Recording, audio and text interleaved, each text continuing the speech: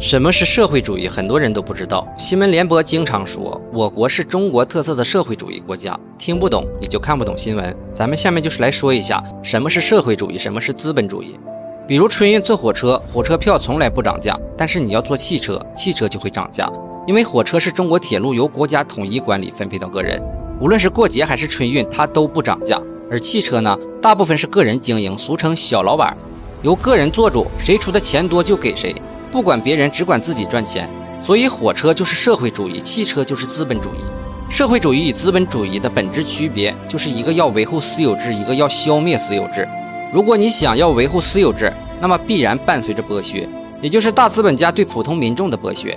比如一天让你工作十二个小时，只给你五十块钱，你不做就没有饭吃。在资本主义国家里，资产阶级占据社会的统治地位；而在社会主义国家里，以工人阶级为主的广大劳动群众是国家和社会的主人。要知道，改革开放前，国家是不允许个体经营的，不让个人当老板。后来领导人发现这样不行，得改革，国家管控重要命脉，比如中国石油、中国铁路、中国电力、学校、医院等等。国家握住大方向，一方面让人民吃得起饭、住得起店、坐得起火车、上得了学；另一方面呢，让有能力、有本事的人可以自己做生意。比如马云、马化腾、任正非、刘强东等等，他们不仅能纳税，还能帮助更多的人就业，给国家、给人民都能带来好处。就这样，一半社会主义，一半资本主义相结合，我们就称之它为中国特色的社会主义。